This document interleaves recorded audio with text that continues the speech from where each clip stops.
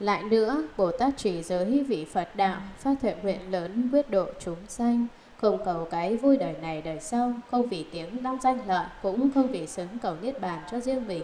Chỉ vì chúng sanh chìm đắm trong trường lưu, bị ân ái dối gạt ngu hoặc làm mê lầm, ta sẽ độ được cho đến bờ bến bờ kia. Một lòng trì giới nên được sanh ở chỗ lành, sanh chỗ lành nên được gặp thiện nhân, gặp thiện nhân nên sanh thiện trí, sanh thiện trí nên được hành sáu ba la mật, hành sáu ba la mật nên được Phật đạo, trì giới như vậy nên gọi là thi la ba la mật. Lại nữa, Bồ Tát trì giới vì tâm ưa điều thiện thanh tịnh, không phải vì sợ ác đạo, cũng không phải vì sang lên cõi trời mà chỉ cầu thiện thanh tịnh, lấy giới quân tập tâm làm cho tâm ưa thiện ấy là thi la ba la mật lại nữa bồ tát do tâm đại bi mà chỉ giới được đến phật đạo ấy gọi là thi la ba la mật. Lại nữa, bồ tát chỉ giới có thể phát sanh sáu ba la mật, ấy gọi là thi la ba la mật. Thế nào là chỉ giới có thể sanh giới? Nhân năm giới mà được sa di giới, nhân sa di giới mà được luật ghi giới, nhân luật nghi giới mà được thiền định giới, nhân thiền định giới mà được vô lậu giới, ấy gọi là sanh giới thế nào là chỉ giới có thể sanh bố thí? Bố thí có ba một tài thí hai pháp thí ba vô ý thí. Chỉ giới thì tự kiểm thúc không xâm phạm tài vật của hết thảy chúng sanh ấy là tài thí. Chúng sanh gặp được kính mộ việc làm đó nên lại thuyết pháp cho họ khiến được khai ngộ lại tự suy nghĩ. Ta sẽ kiên định tịnh giới, kiên trì tịnh giới để làm ruộng phước cho hết thảy chúng sanh cúng dường, để chúng sanh được vô lượng phước. Các thứ như vậy gọi là pháp thí. Tất cả chúng sanh đều sợ chết, chỉ giới không làm hại ấy là vô ý thí. Lại nữa, Bồ Tát tự suy nghĩ, ta sẽ chỉ giới, do quả báo của chỉ giới mà vì các chúng sanh làm chuyển lân thánh vương hoặc làm vua cõi riêng phổ đà hoặc làm vua trời khiến cho chúng sanh được đầy đủ tài vật không bị thiếu hụt Vậy sau mới ngồi dưới gốc cây bồ đề hàng phục ma vương, phá các ma quân, thành vô thượng đạo vì các chúng sanh thuyết thanh tịnh pháp, khiến vô lượng chúng sanh vượt qua biển lão, bệnh tử. Ấy là nhân duyên chỉ giới sanh đàn ba la mật. Thế nào là chỉ giới sanh nhẫn nhục? Người chỉ giới tâm tự nghĩ rằng ta nay chỉ giới vì tự tâm, nếu chỉ giới mà không nhẫn nhục sẽ đọa địa ngục. Tuy không phá giới, song vì không nhẫn nên không khỏi xa ác đạo, sao được buông lòng giận mà không tự chế tâm chỉ do vì tâm mà đọa vào trong ba ác đạo thế nên phải tự khéo, cố gắng xin tu nhẫn nhục. Lại nữa hành giả muốn cho giới được kiên cường, hãy tu nhẫn nhục. Vì sao? Vì tu nhẫn là sức lớn, làm bền chắc giới khiến không lay động. Lại tự suy nghĩ, ta này xuất ra thân hình phát tục. Đầu thể buông thả như tâm thói người đời, nên tự cố gắng. Lấy nhẫn điều phục tâm, do thân miệng nhẫn mà tâm cũng được nhẫn. Nếu tâm không nhẫn, thân miệng cũng vậy, cho nên hành giả nên làm cho thân miệng tâm đều nhẫn, dứt hết sự giận dữ. Lại nữa, giới ấy, lược nói thời có tám vạn nói rộng thời vô lượng, ta phải làm sao giữ đủ vô lượng pháp giới? Giữ đủ vô lượng giới pháp chỉ phải nhẫn nhục, thì mới tự đầy đủ các giới. Ví như có người đắc tội với vua vua chở người tội trên xe đa, bốn phía đặt mũi nhọn, không chỗ sen hở dòng chảy vội vã, đi không chọn đường nếu khéo giữ mình thì không bị dao đâm, thế là giết mà không chết. Người chỉ giới cũng như vậy. Giới là đau bén, nhẫn là giữ mình. Nếu tâm nhẫn không vững thì đau giới đâm người. Lại ví như người già đi đêm không gậy là bị té ngã. Nhẫn là gậy của giới, giúp đỡ người đi đến đạo. Nhân duyên phước là không lay động được. Các thứ như vậy gọi là trì giới sanh sản đẻ ba la mật thế nào là trì giới sanh tinh tấn? Người trì giới trừ bỏ phóng dật, tự sức sinh tu, tập quán vô thượng, bỏ vui thế gian vào trong thiện đạo. Trí cầu niết bàn để độ hết thảy, tâm lớn không biếng nhác, lấy việc cầu đạo làm gốc, ấy là trì giới sanh tinh tấn. Lại nữa, người chỉ giới chán mệt sự khổ ở đời và cái họa già bệnh chết, tâm sanh tinh tấn, tự cầu thoát khổ, cũng để độ người. Ví như trồn hoang ở giữa rừng cây, nương theo sư tử và hổ báo kiếm thịt bò thừa để tự nuôi sống. Gặp lúc thiếu đói nửa đêm trèo thành lèn vào nhà người. Kiếm thịt không có, ngủ nghỉ chỗ kín, không biết đêm đã hết, hoảng sợ không biết tính sao, chạy thời sợ không khỏi. Ở lại thì sợ chết, bèn tự định tâm giả chết nằm trên đất. Mọi người trông thấy có một người nói, ta cần ta trồn liền cắt lấy tai, trồn tự nghĩ, cắt tai tuy đau nhưng thân còn sống được. Lại một người nói ta cần đuôi trồn. Liền cắt lấy đuôi, trồn lại suy nghĩ, cắt đuôi tuy đau nhưng còn là việc nhỏ. Lại một người nói, ta cần răng trồn. Trồn trong tâm suy nghĩ, người cần lấy càng lúc càng nhiều. Nếu giả lấy đầu ta thì không còn đường sống. Liền từ đất đứng dậy, tung hết trí lực, cố nhảy qua cửa theo đường tắt mà tự cứu được. Tâm của hành giả cầu thoát khổ nạn cũng như thế. Hoặc khi giả đến còn tự cho thông tả, không chịu ân cần, quyết đoán tinh tấn. Khi bệnh đến cũng như vậy, còn cho có khi lành. Chưa chịu quyết đoán, khi chết xác đến tự biết không còn mong gì nữa, nên tự cố gắng, quả cảm, ân cần, tu hành rất tinh tấn, từ trong chỗ chết được đến niết bàn. Lại nữa, phép chuyển giới giống như người bán tên, trước phải được chỗ đất bằng được đất bằng rồi sau tâm mới an, tâm an rồi sau kéo cung mới năng. Kéo cung năng rồi sau mũi tên mới cắm sâu. Dưới là đất bằng, định ý là cây cung. Kéo năng cung là tinh tấn, mũi tên là trí tuệ. Giặc là vô minh. Nếu nông gắng sức tinh tấn được như vậy, chắc đạt đến đại đạo để độ chúng sanh. Lại nữa, người trì giới thường lấy sức tinh tấn, tự kiềm chế năm căn, không thọ năm dục nếu tâm đã chạy đi thì khiến nhiếp trở lại. Thế là giới hay thủ hộ các căn. Thủ hộ các căn thời phát sanh thiền định. Sanh thiền định thời sanh trí tuệ. Sanh trí tuệ thời được đến phật đạo. Đấy là chỉ giới sanh tỷ lê gia ba la mật. Thế nào là chỉ giới thanh sanh thiền định? Người ta có ba nghiệp làm các điều thiện. Nếu thân khẩu nghiệp thiện thì ý nghiệp tự nhiên vào thiện nếu thần khẩu nghiệp thiện thì ý nghiệp tự nhiên vào thiện, ví như cây cỏ cùng xanh giữa bụi gai, không chống đỡ mà tự lên thẳng, sức trì giới hay làm gầy yếu các kiết sử. Thế nào là làm cho gầy yếu? Nếu không giữ giới, gặp việc sân nhuế đến, tâm sát biển xanh. Nếu việc dâm dục đến, tâm dâm liền thành. Nếu chỉ giới, tuy có gặp chút sân, không sanh tâm sát. Tuy có niệm dâm, dâm sự không thành, đấy là trì giới làm cho các kiết sử gầy yếu các kết sử gầy yếu thì thiền định sẽ được. Ví như giả bệnh mất sức, sự chết dễ đến. Kiết sử gầy yếu thì thiền định dễ được. Lại nữa, lòng người chưa dứt thường cầu cho thật vui. Hành giả chỉ giới, vứt bỏ phúc lạc ở đời, tâm không phóng dật, cho nên dễ được thiền định. Lại nữa, người chỉ giới được sanh trong cõi người. Tiếp đến, sanh trong cõi trời lục dục.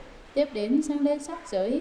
Phá sắc tướng, sanh vô sắc giới chỉ giới thanh tịnh dứt các kiết sử chứng được đạo quả a la hán có tâm đại chỉ giới, thường nghĩ đến chúng sanh, ấy là bồ tát.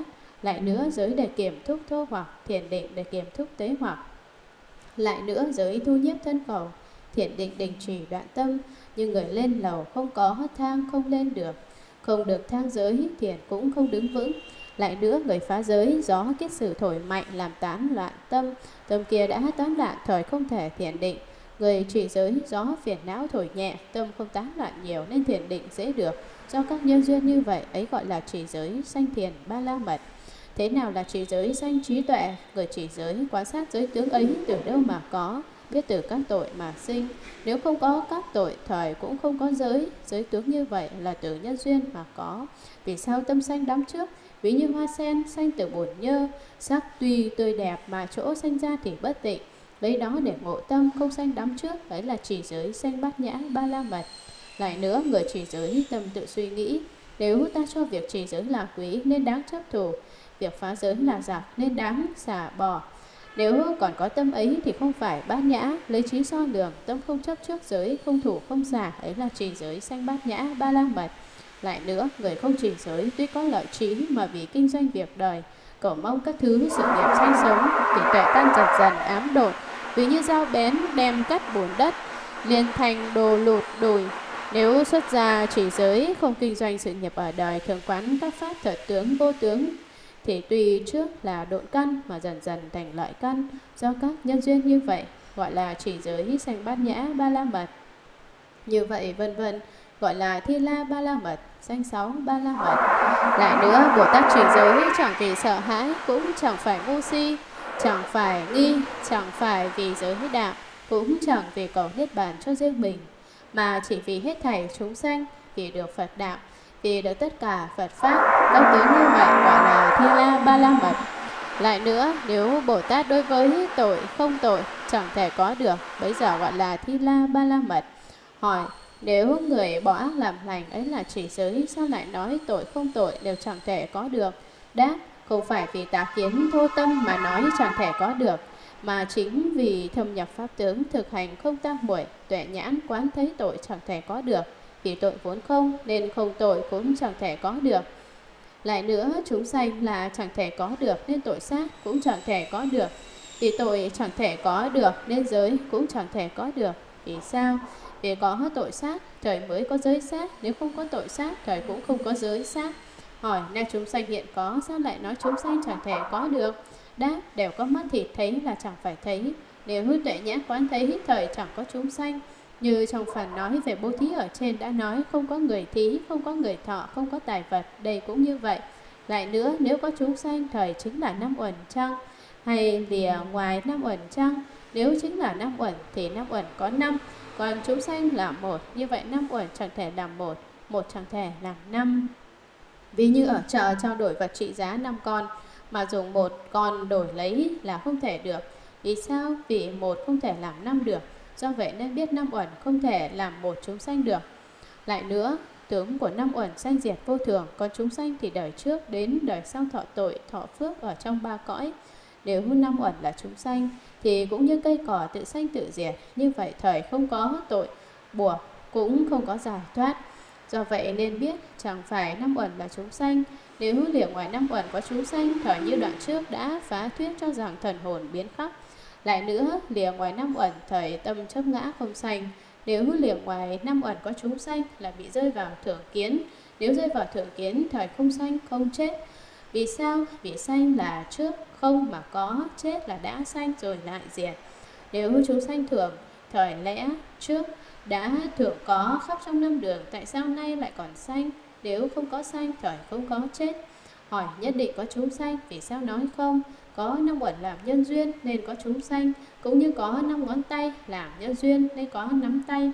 Đáp, nói như vậy không đúng, nếu năm uẩn làm nhân duyên nên có chúng sanh, vậy trừ ngoài năm uẩn thời phải riêng có chúng sanh, nhưng không thể có được, mắt tự thấy sắc, tài tự nghe tiếng, mũi, người, mùi, lưỡi nếm vị, thân biết xúc, ý biết pháp là không, vô ngã. Để sáu việc này lại không có chúng sanh, các ngoại đạo thì thấy điên đảo nên nói mắt thấy sắc ấy là chúng sanh, cho đến ý biết pháp ấy là chúng sanh, lại biết nhớ nghĩ, biết họ khổ vui. Ấy là chúng sanh, chỉ khởi lên cái thấy ấy nên biết được chúng sanh thật. Ví như một vị đại đức trưởng lão tỷ kheo, người ta gọi đó là vị A-la-hán đến cúng dường rất nhiều, sau đó bị bệnh chết. Các đệ tử sợ mất cúng dường nên ban đêm lén đem xác ra ngoài, rồi tại chỗ nằm của vị tỷ kheo sắp đặt mền gối giống như thấy đang còn, có vẻ như nằm. Người nào đến thăm bệnh hỏi thầy ở đâu?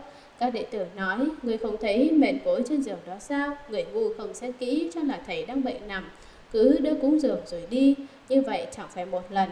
Sau một người trí đến hỏi, các đệ tử cũng trả lời như trước. Người trí nói, ta không hỏi gối mền giường nệm, ta cần tìm người. Người ấy liền kéo mền ra tìm, rốt cuộc không có người đâu cả.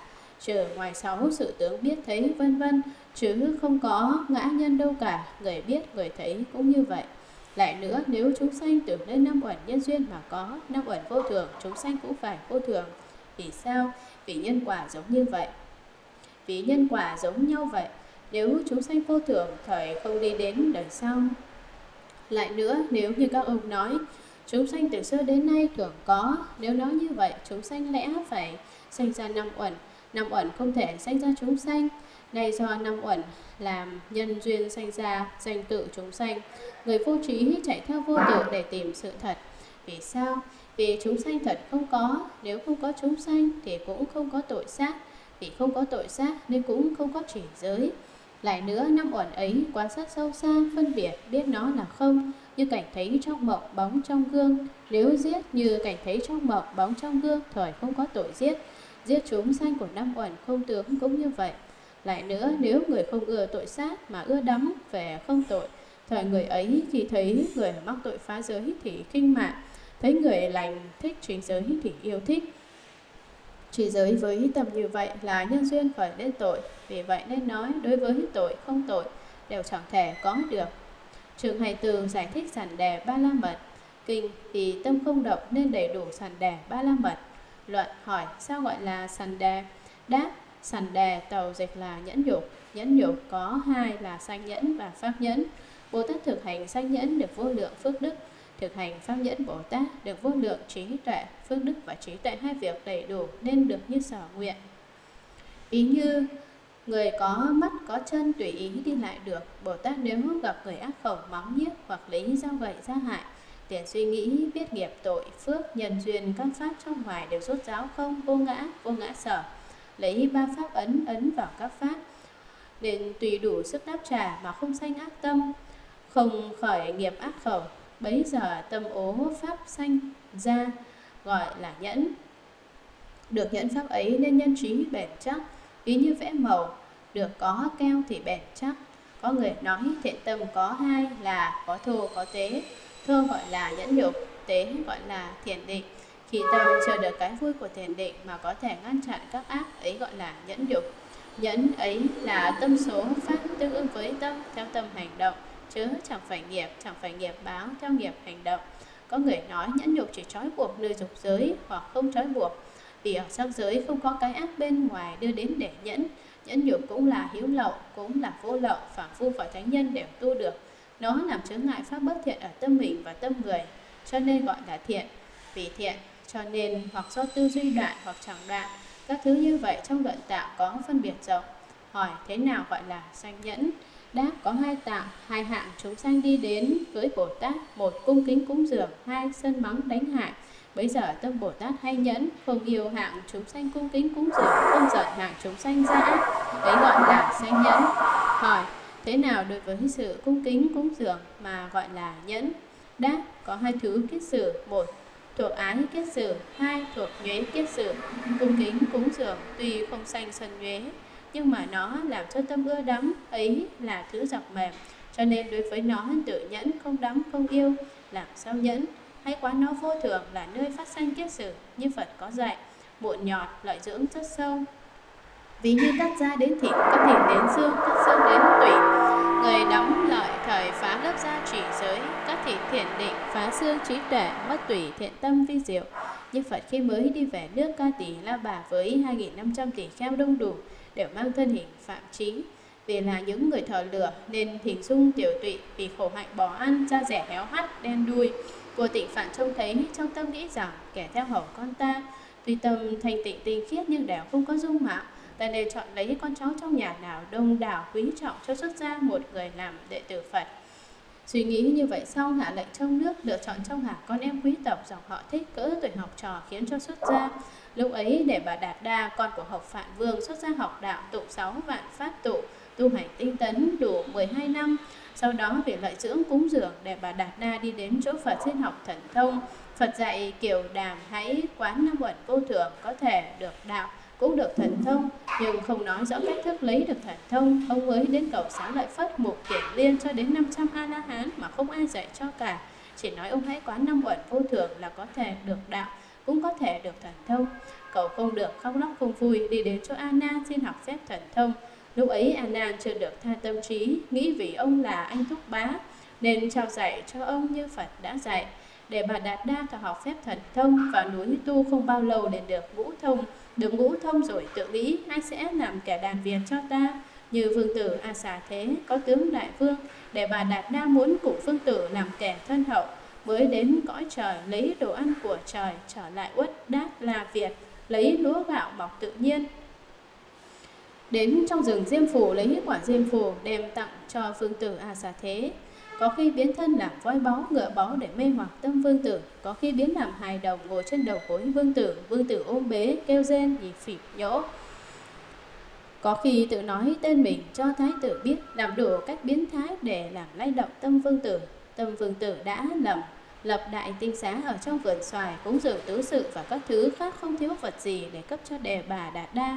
Ngày ngày sai các đại thần đưa đến 500 chõ cơm canh để bà Đạt Đa được cúng dường nhiều mà đồ chúng thì được chút ít.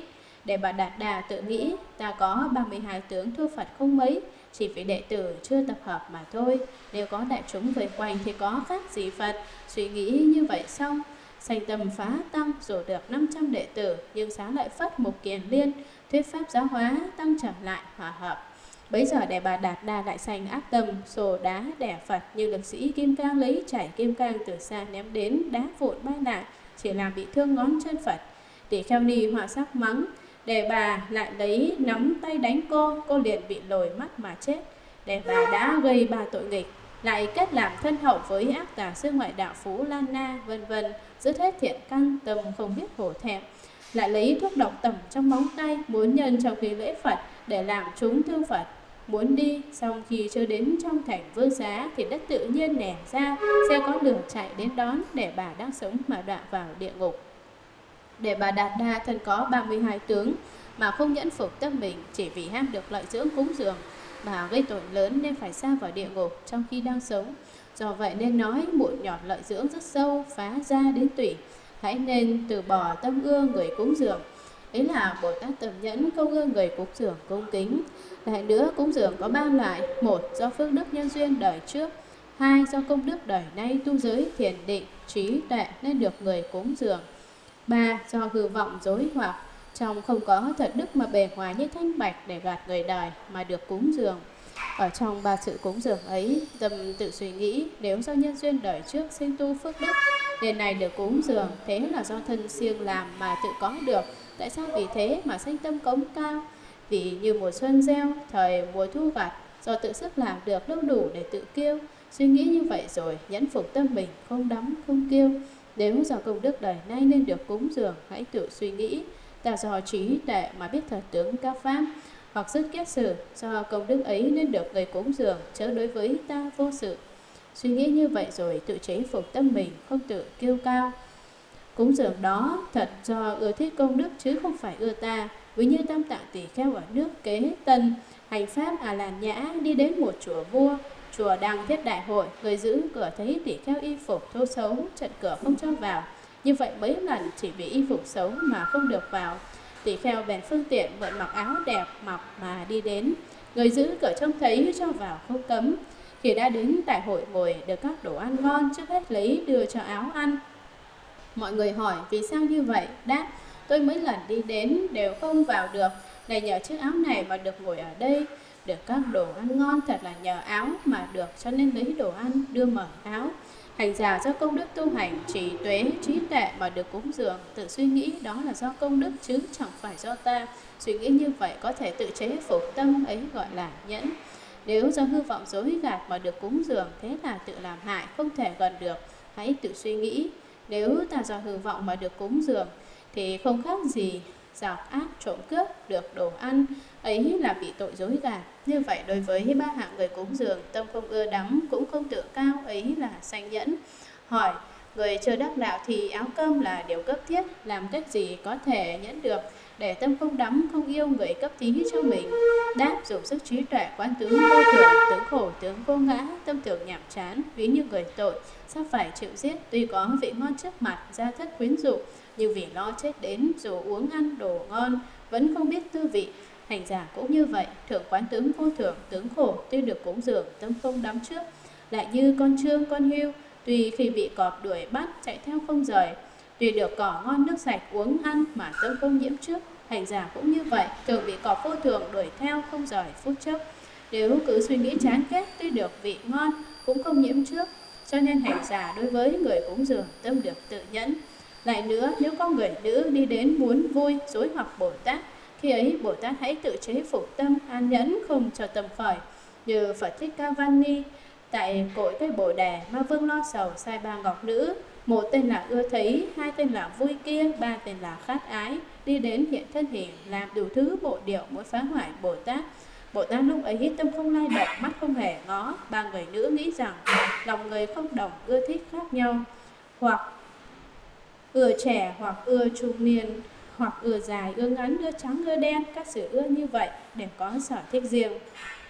Bấy giờ ba người nữ mỗi mỗi nó làm 500 gái đẹp, mỗi gái đẹp ấy hiện ra vô lượng biến thái, từ trong rừng đi ra, giống như mây đen, điển chớp, sáng chốc chốc hiện ra.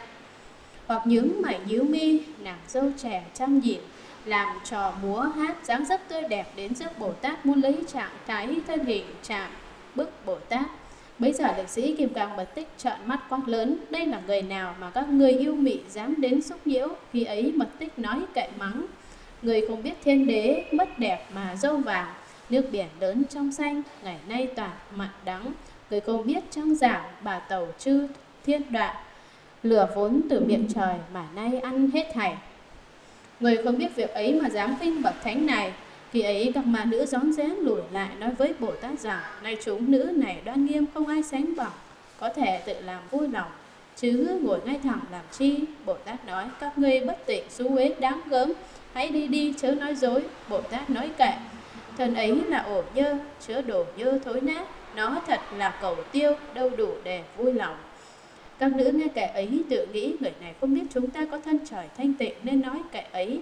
Điện tự biến thân trở lại thân hình cũ, sáng chói rực rỡ, chiếu giữa rừng cây, múa ca nhạc trời. Nói với bồ tát rằng, thân tôi như vậy có chi đáng mắng?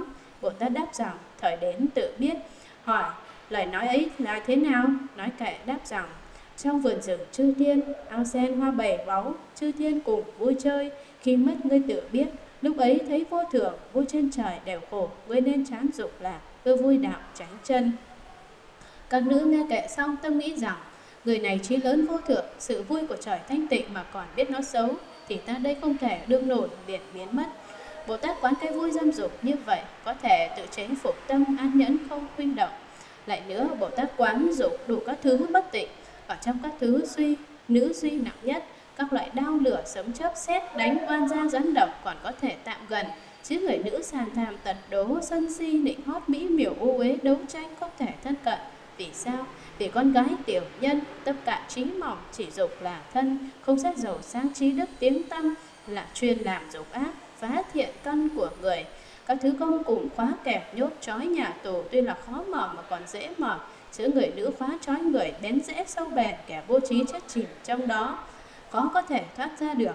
Trong các thứ chết, nữ bệnh nặng nhất, như kệ nói, thà lấy rác đỏ xoay lăn trong mắt không đem loạn tâm tàn xem nữ sắc mỉm cười làm dáng kêu mạng hổ thẹn quay mặt nhíu mắt nói đẹp ghen giận đi bước là lơi để mê hoặc người lưới dâm răng khắp người đều chôn thân, ngồi nằm đi đứng, quay liếc xảo đẹp người ngu trí mỏng, tâm say mê theo.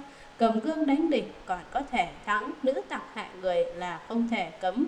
Rắn rết ngập độc còn lấy tay bắt, nữ tình mê người là không thể đục. Những người có trí quyết không nên xem, phải như mẹ chị. Nếu muốn xem đó, quán xem kỹ càng, chứa đầy bất tịnh, lửa dâm không trừ, bị nó cháy tiêu lại nữa tướng người nữ là nếu được trọng đãi, thời khiến tâm người chồng cao ngạo. Nếu tình cảm trọng đãi, bỏ mất, thời khiến tâm người chồng sợ hãi. Người nữ như vậy, tự đem phiền não lo sợ cho người, làm sao gần được? Làm cho chống trái xa lìa giữa người thân hảo là tội của người nữ. Giỏi tìm điều xấu của người là trí của người nữ. Lửa cháy người còn có thể gần, gió thanh vô hình cũng có thể nắm bắt. Rắn rết ngậm độc cũng còn có thể đụng tâm của người nữ không thể biết đâu là thật. Vì sao? Vì tướng của người nữ không cần xem giàu sang, đoan tránh danh tiếng trí tuệ, dòng họ nghề nghiệp. Biện tài, thân hậu, ái trọng đều không để tâm, chỉ dâm dục là để tâm xem đến. Ví như con thuồng luồng rồng không chọn tốt xấu, chỉ muốn giết người. Lại muốn, lại nếu người ta không xem đến thì buồn khổ tiêu tụy. Nếu được cấp dưỡng trọng đãi thì kêu xa không tự chế. Lại nữa, nếu ở giữa người lành, thầy tự nuôi tâm cao ngạo ở giữa người vô trí trời xem họ như oan gia. Ở giữa người sang giàu thì đi theo cung kính thương yêu. Ở giữa người nghèo hèn thời xem họ như chó thường theo tâm dục chứ không theo công đức. Như chuyện nói quốc vương có người con gái tên là câu mâu đầu có người thợ đánh cá tên là thuật gia bà. Đi dọc theo đường, xa thấy vương nữ trên lầu cao, nhìn qua trong cửa sổ thấy mặt liền tưởng tượng đắm nhiễm, tâm không tạm dứt. Trải qua ngày tháng bỏ ăn bỏ uống, mẹ hỏi lý do đem tỉnh thực trả lời. Mẹ rằng, con thấy vương nữ tâm không quên nổi. Người mẹ khuyến dụ con rằng con là hạng tiểu nhân, vương nữ là hạng quý trọng, không thể được đâu. Người con nói, tâm con mong được khoái lạc, không thể tạm quên, nếu không được như ý, con không thể sống được mẹ vì thương con đi vào cung vua thường đem các béo thịt chìm để tặng cho vương nữ mà không lấy tiền vương nữ lấy làm lạ mà hỏi muốn cầu mong điều gì bà mẹ thưa xin đuổi hết người hai bên tôi sẽ đem tình thật thưa rõ Tôi chỉ có một người con trai kính mộ vương nữ, mối tình uất kết thành bệnh, mạng đã gần kề. Nguyện rủ lòng thương cứu cho mạng sống của nó. Vương nữ nói, bà đi đi, dặn ngày 15 giữa tháng đến trong đền thờ trời nọ, úp ở sau tượng trời. Núp ở sau tượng trời, Người mẹ trở về nói với con ước mong của con đã được và kể lại sự việc như trên. Người con tắm rửa thay áo mới đến núp ở sau tượng trời. Đến ngày vương nữ thừa với vua cha, con có việc chẳng lành phải đến đền thờ để cầu phúc lành. Vua nói tốt lắm. Vương nữ liền sắm sửa 500 cỗ xe ra khỏi cung đi đến đền thờ trời. Đến rồi ra lệnh các người tùy tùng ngưng lại ngoài cửa, một mình đi vào đền thờ. Thiên thần suy nghĩ, việc này không thể như vậy, vua là chủ của cõi đời, không thể để kẻ tiểu nhân làm hủy nhục vương nữ. Liền điểm vào người ấy, làm cho ngủ mê không biết. Thì vương nữ đi vào, thấy người kia ngủ mê, lay mấy không tỉnh, liền lấy chuỗi anh lạc trị giá 10 vạn lượng vàng để lại rồi đi. Sau khi đi, người ấy tỉnh lại, thấy chuỗi anh lạc, hỏi người hai bên thì biết là vương nữ đã có đến, nguyện tỉnh không toại yêu sầu uất hận áo não lửa dâm tự trong thân bốc ra tự đốt mà chết Do chứng cớ ấy biết tâm của người nữ không chọn sang hèn, chỉ mê theo dâm dục mà thôi. Lại nữa, xưa có người con gái quốc vương đi theo kẻ trên Đà La, cùng nhau hành bất tịch. Lại có con gái của tiên nhân đi theo con sư tử. Những điều như vậy, tâm của người nữ không lựa chọn gì. Do các nhân duyên ấy đối với người nữ phải từ bỏ tình dục, nhẫn nhục, không ưa đắm. Làm sao với hạng người sân si não hại mà nhẫn nhục được? Nên tự suy nghĩ, hết thảy chúng sanh có nhân duyên tội lỗi, nên xâm hại lẫn nhau, ta này bị bước não cũng do nhân duyên của hành nghiệp cũ. Tuy chẳng phải tạo tác ở đời nay, mà là ác báo đời trước của ta ta nay đền trả. Hãy nên cam chịu, đâu có thể trái được ví như mắc nợ, chủ nợ đến đòi. Hãy nên hoan hỉ trả nợ, không thể nổi giận được. Lại nữa, tự thực hành từ tâm, tuy có bị náo loạn bức thân, phải nên nhẫn chịu. Ví như tiên nhân sản đệ ở trong đại lâm tu hành tử nhẫn, vua cần lợi đem các thể nữ vào rừng vui chơi, ăn uống xong xuôi vua tạo ngủ nghỉ để các thể nữ đi hái hoa giữa rừng. Thấy vị tiên ấy thì cung kính lễ bái rồi đứng qua một bên. Bây giờ tiên nhân nói lời khen ngợi hành từ bi nhẫn nhục cho các thể nữ nghe, lời nói hay ho, nghe không biết chán nên đã lâu mà không đi. Vua cao lợi thức dậy không thấy thể nữ rút kiếm đi tìm tung tích thấy đang đứng trước tiên nhân lòng vua kiều càng cánh két, bừng bừng trợn mắt hừa kiếm, hỏi tiên nhân rằng, ngươi là người nào? Tiên nhân đáp, tôi ở nơi này tu hành từ bi nhẫn nhục. Vua nói này ta thử ngươi, sẽ lấy gươm bén cắt tai mũi ngươi, chặt tay chân ngươi. Nếu ngươi không giận mới biết là ngươi tù nhẫn nhục. Tiên nhân nói, mặc ý. Vua liền rút kiếm, cắt tai mũi, chặt tay chân tiên nhân mà hỏi rằng, tâm ngươi có động chăng? Đáp, tôi tù từ nhẫn, tâm chẳng động. Vua nói, người một thân ở đây không có thể lực tôi miệng nói chẳng động ai mà tin được. Khi ấy tiên nhân liền phát lời thề rằng, nếu tôi tu, thật tu tự nhẫn thì huyết sẽ thành sữa. Tức thì huyết biến thành sữa. Vua rất kinh hãi vui mừng đem các thể nữ đi. Lúc ấy hung thần ở trong rừng vì tiên nhân này mà sấm chớp sát đánh thì mình vua bị độc hại chết không trở về cung được. Do vậy nên nói ở trong chỗ não lạ hay tu hành nhẫn nhục lại nữa, Bồ Tát tu hành từ tâm, tất cả chúng sanh thường có các khổ, như ở trong thai chịu các đau khổ, khi sành bước bách, xương thịt bị phá nát, gió lạnh chạm thân, quá hơn giao cắt, cho nên Phật nói, trong hết thảy khổ, sanh khổ hạng nhất, như vậy già bệnh chết khổ, đủ thứ khổ ách. Thế nào người tu hành lại còn ra thêm khổ cho chúng? Thế là trong muộn nhọt còn lấy dao phá. Lại nữa, Bồ Tát tự suy nghĩ, ta không nên như các người khác, thường trôi theo dòng nước sanh tử, ta phải ngược dòng để tìm đến tận nguồn vào đạo niết bàn. Hết thảy người phạm hễ ai đụng đến là nổi giận, ai đưa lợi ích đến thì mừng, chỗ sợ thì sợ, còn ta làm Bồ Tát không thể như họ. tùy chưa dứt kết xử, hãy tự ức chế, tu hành nhẫn nhục, gặp não hại không giận, được cung kính cúng dường không mừng. Các khổ gian nan không nên sợ sệt, hãy vì chúng sanh hưng khởi tâm đại bi. Lại nữa, Bồ Tát thấy chúng sanh đến làm não nặng, hãy tự suy nghĩ, đó là người thân hậu của ta cũng là thầy ta. Càng thêm lòng thân ái cung kính tiếp đãi. Vì sao? Vì nếu kia không đem các sự náo loạn đến thời ta không thành nhẫn nhục. Do lẽ đó nên nói kia là người thân hậu của ta cũng là thầy ta. Lại nữa bồ tát tầm biết rõ như lời phật dạy chúng sanh vô thủy thế giới vô biên qua lại năm đường luân hồi vô lượng. Ta cũng từng làm cha mẹ anh em của chúng sanh chúng sanh cũng từng làm cha mẹ anh em của ta. Đường này cũng vậy, lấy đó mà suy, không nên ác tâm ôm lòng sân hại. Lại nữa, suy nghĩ trong hàng chúng sanh có rất nhiều hạt giống Phật. Nếu ta đem ý giận đến chúng sanh, thời là giận Phật. Nếu ta giận Phật, thời là xong chuyện, như chuyện nói trên bộ câu sẽ được làm Phật. Nay tuy là chim, không thể khinh được. Lại nữa, trong các phiền não, giận là nặng nhất. Trong quả báo bất thiện, quả báo giận là lớn nhất. Các kết sử khác không có trọng tội đó như thức đề ba na. Dân hỏi Phật bằng bài kệ rằng, giết vật gì an ổn, giết vật gì không hối, vật gì gốc của độc, lướt mất mọi điều thiện, giết vật gì được khen, giết vật gì không buồn. Phật đáp, giết giận tâm an ổn, giết giận tâm không hối, giận là gốc của độc, giận diệt mọi điều thiện, giết giận chư Phật khen, giết giận thời không buồn. Bồ Tát suy nghĩ, Tần này thực hành bi tâm, muốn cho chúng sanh được vui. Giận là nuốt mất mọi điều thiện độc hại tất cả. Tại sao ta làm trọng tội ấy? Nếu có sân giận tự mình mất lợi lạc thì làm sao có thể khiến chúng sanh được vui? Lại nữa, chư Phật Bồ Tát lấy đại bi làm gốc, do bi mà ra, giận là thứ hư độc làm tiêu diệt bi, đặc biệt không hợp nhau, nếu ngoại gốc bi sao gọi là Bồ Tát? Bồ Tát từ đâu mà ra? Vì lẽ đó nên tu nhẫn nhục. Nếu chúng sanh đem chất thêm các sự sân não, hãy nghĩ đến công đức của họ.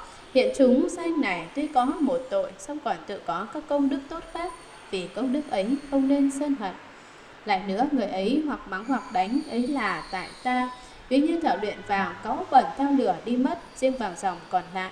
Đề cũng như vậy, nếu ta có tội ấy là do nhân duyên đời trước nên phải đền trả, không nên sân hận, nên tù nhẫn nhục.